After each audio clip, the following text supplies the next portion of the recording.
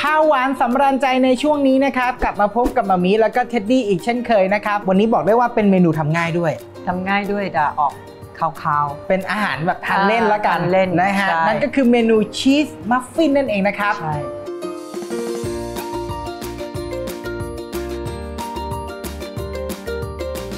วันนี้มาทำมัฟฟินได้ด้วย นี่เลยโยเกิร์ตรสธรรมชาตินะครับไ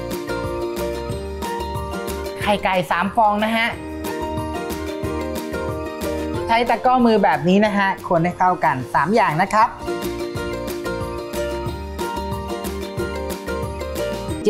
75 กรัมนะครับ ใช้พายางแบบนี้นะฮะ ตะล่อมให้เข้ากันนะครับ น้ำตาลทรายกับแป้งนะครับ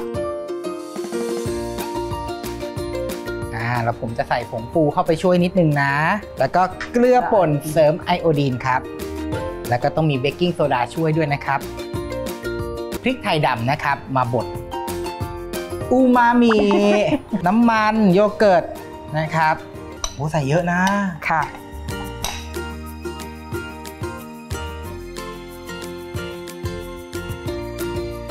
หมดแล้วมาเติม ใช่ค่ะเกือบเต็มนะ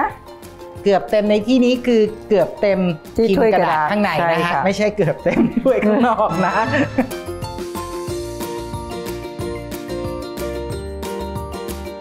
เราก็ไปอบเลยค่ะ อบเลยนะครับ 175 ประมาณ 15 นาที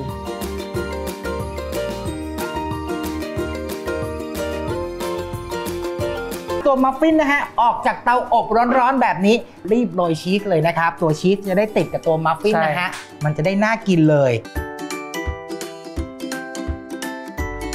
อืมจังหวะนี้ใครชอบชีสเยอะชีสน้อยก็ใส่กันได้เลย เรียกได้ว่าอร่อยทำง่ายจริง ๆ นะฮะ คุณผู้ชม FC อาจารย์เมย์ดูอยู่ทำตามดูนะครับทำขายก็ได้นะเนี่ยทำไปเล่นไปนะใช่ทำขาย เมนูอร่อยแบบนี้นะฮะ ฝากไว้นะครับ กับเมนูชีสมัฟฟินครับ